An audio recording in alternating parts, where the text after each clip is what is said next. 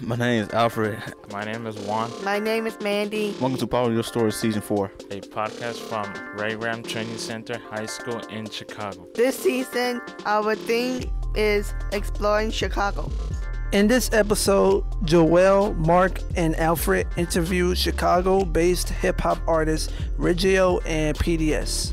We talked about producing music as independent artists growing up in Chicago and being positive influence.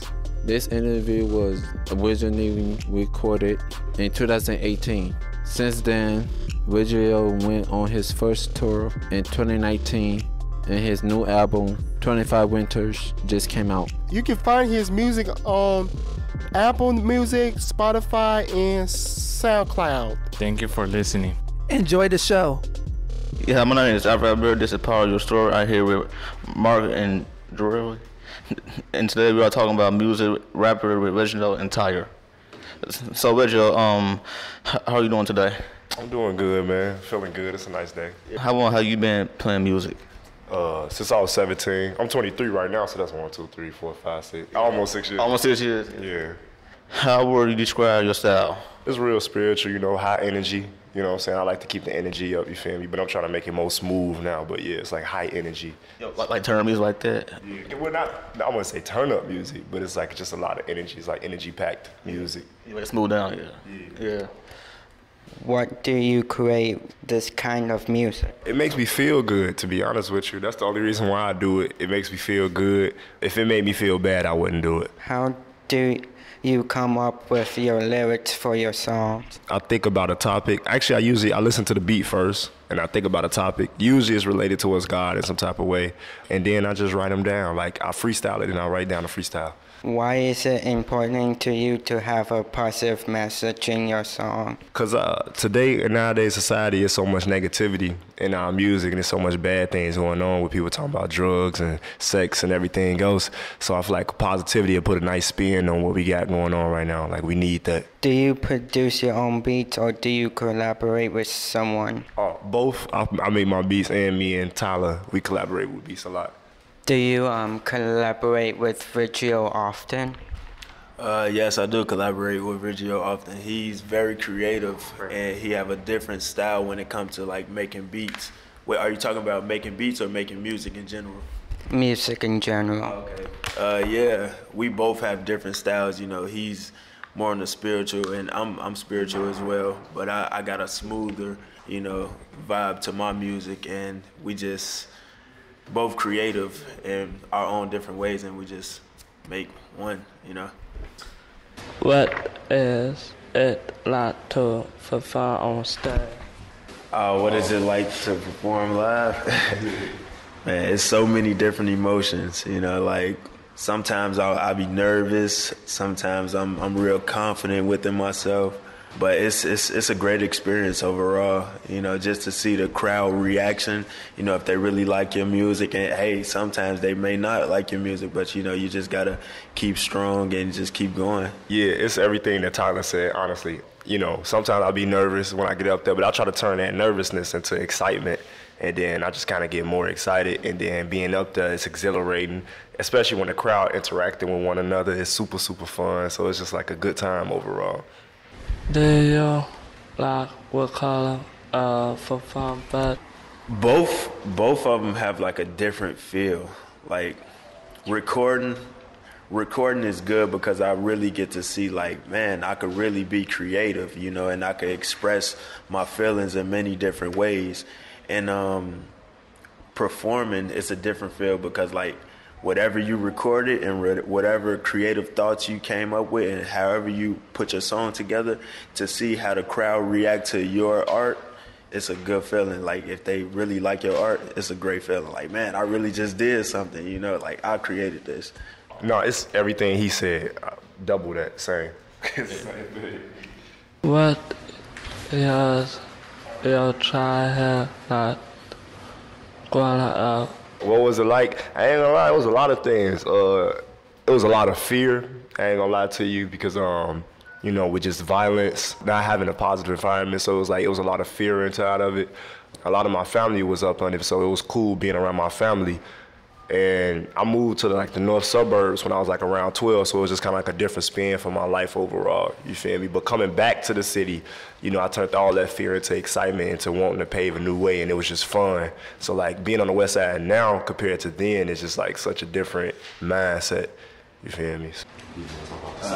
Yeah, uh, so I was raised on the south side. Well, I was born on the east side. You know, that's where I was born and raised. Then I moved to the south side. It was a lot of different emotions as well. Just seeing what goes on on a day-to-day basis, you know, it could be it's a lot of negativity that goes on, just a lot of negative energy, and you know, it's easy to get wrapped up in that negative energy. I never did, but you know, it was a lot of fear. You know, like you had to just stay strong and just like respect yourself and just you know respect how you was raised, your people, respect your family, and just do the right thing. Always do the right thing. How has that influenced your music? How does it influence my music? Well, it influenced my music. For it to be so negative from where I grew up at, it influenced my music in a positive way because I knew exactly what I didn't want to project to the world. You know, it was a lot of violence, a lot of, you know, gang banging, drug selling, and I'm like, I know it's a different way to live life. So I just want to show people the different way to live life through my music, you know?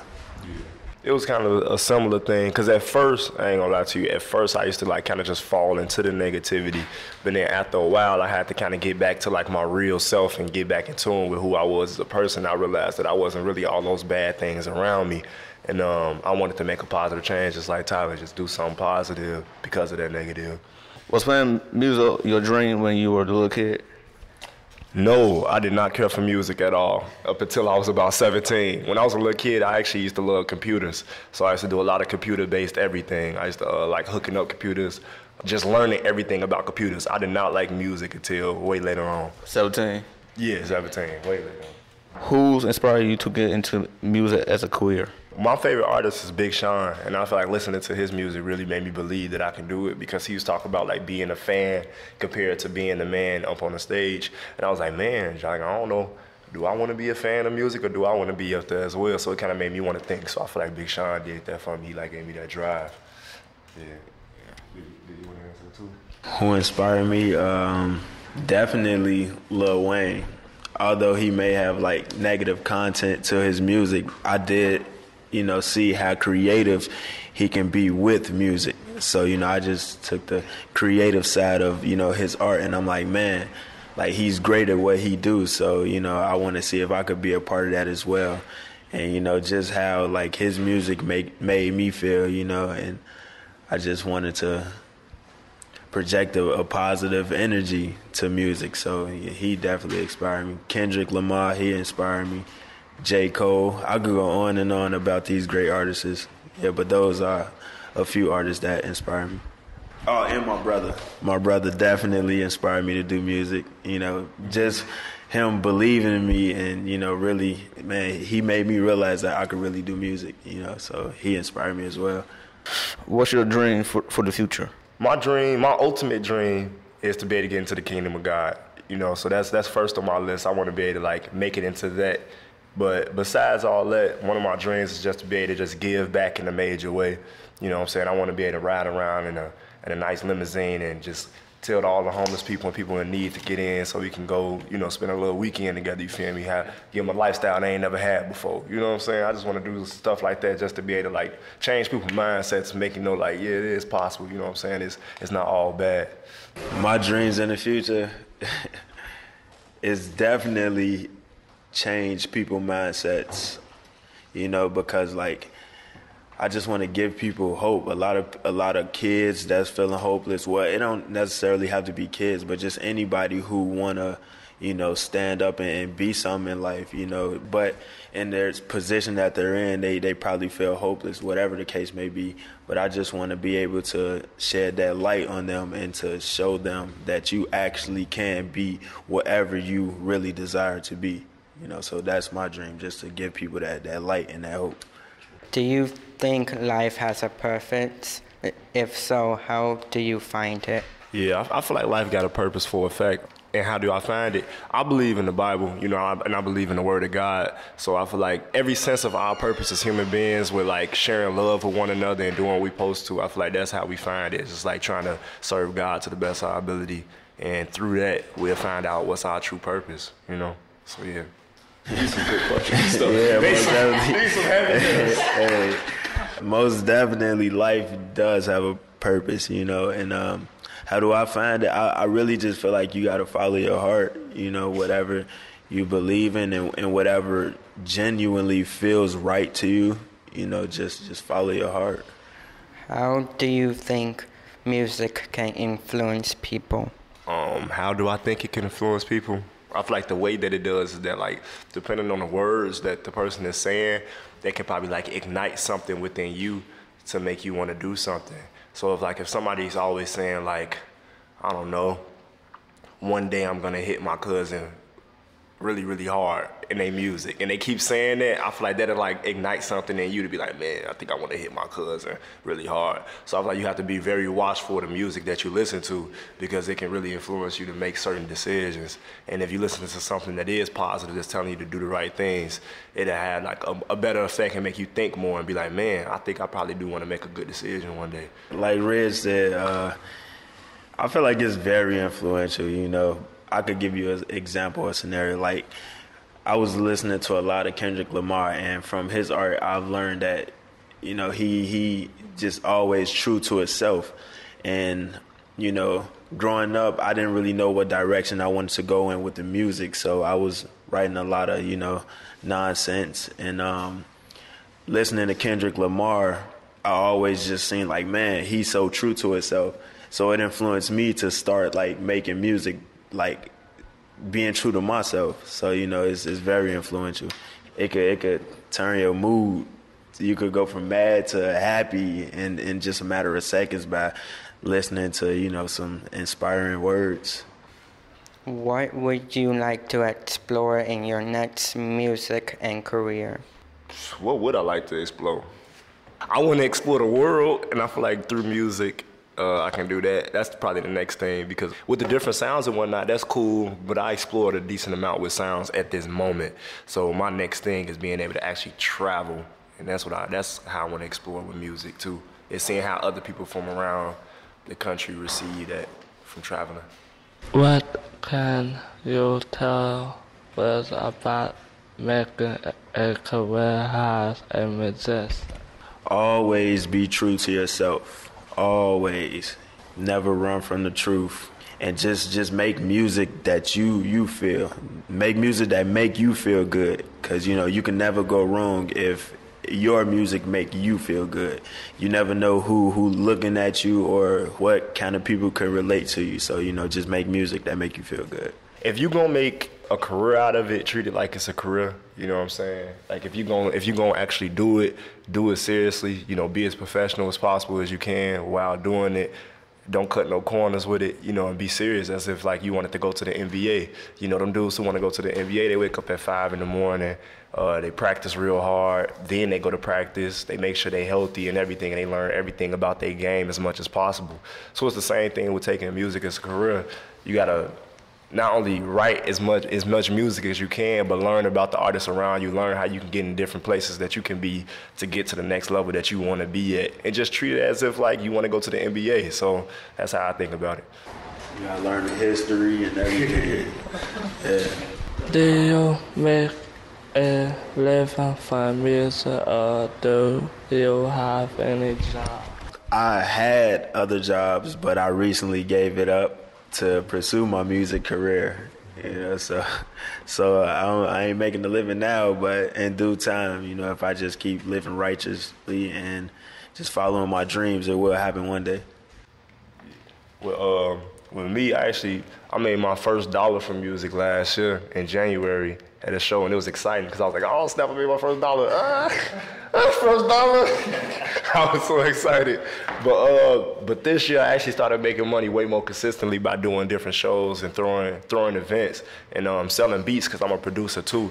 So yeah, I make my living from music, but I also do a little lift with him as well, just to make a little extra cash. You know what I'm saying? Because I'll be coming up short all the time. So um, yeah, the, and how I made music. I mean, how I made money with my music is like everything I was saying before, like really taking it serious and like you know operating as a as a business person with music, and that's it. What does take to be successful? What does it take to be successful? Dedication. You gotta stay focused. You know, you gotta kind of just keep a clear mind, and you gotta you gotta know what you want. You gotta exactly know what you want out of life.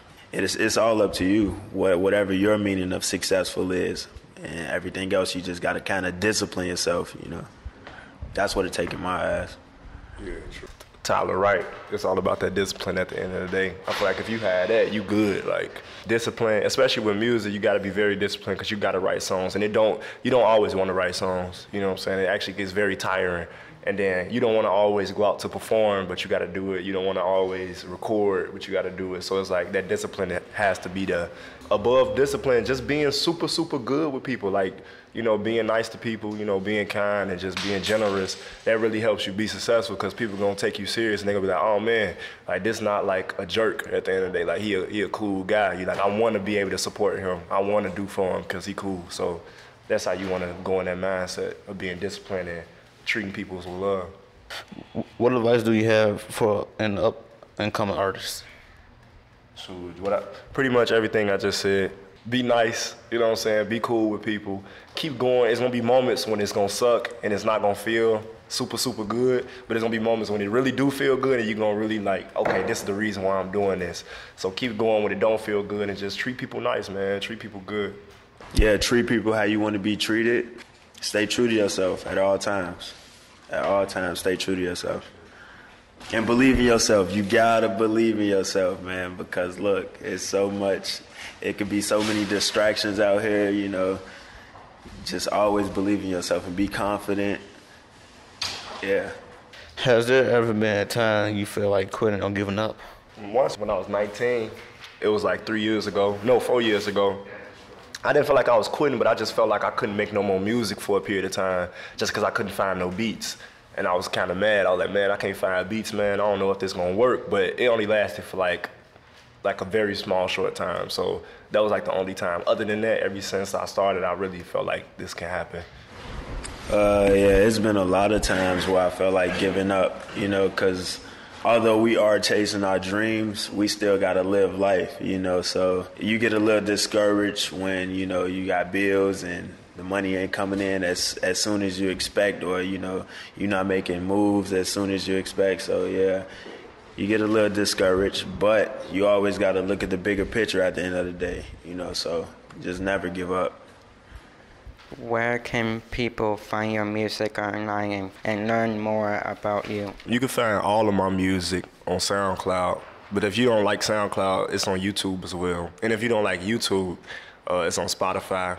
And if you don't like Spotify, it's, it's on Apple Music. So all those places. Um, if they want to learn more about me, if you just look up Ridgio, it's a couple little interviews here and there, you know what I'm saying, where I talk and explain more about myself. So you just got to do a little homework. That's all.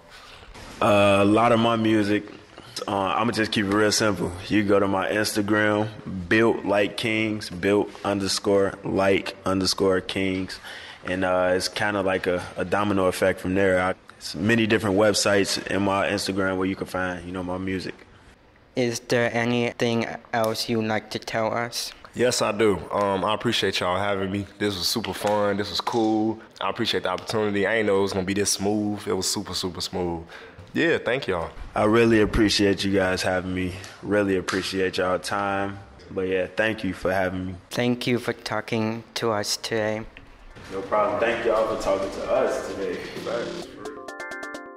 Power Your Story podcast is produced by students at Ray Graham Training Center High School in Chicago. With the production support of After School Matters and the creative imposter studios. Today's episode was produced by Alfred. Ma. Joel. Our theme music is by Gennaro Jackson, aka DJ Sparkz. You can find our show on Apple Podcasts, Spotify, Stitcher Radio, Google Podcasts, and on the web at PowerYourStoryPodcast.com. Follow us, subscribe, and share our show with a friend. Thank you for listening. Be safe, be smart. Turn up all the way. I got all the vibes.